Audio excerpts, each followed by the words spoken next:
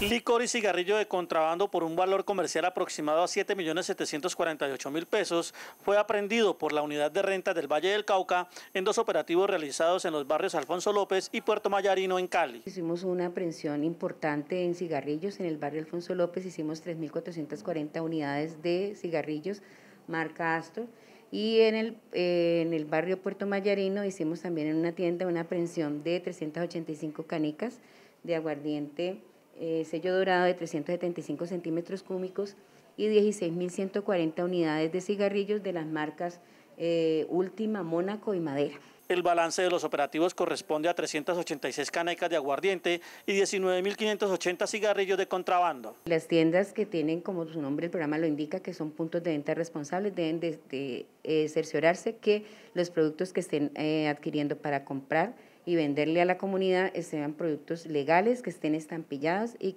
eso permite tener una certeza desde el punto de vista de la salud. Sabemos que todo lo que tenga que ver con este, este flagelo del contrabando ataca principalmente a la salud de los, de los consumidores. Desde la gobernación del Valle del Cauca se seguirá lanzando ofensivas en contra de las bandas criminales que comercializan estos productos y afectan la salud y la vida de los vallecaucanos, así como el progreso socioeconómico de la región.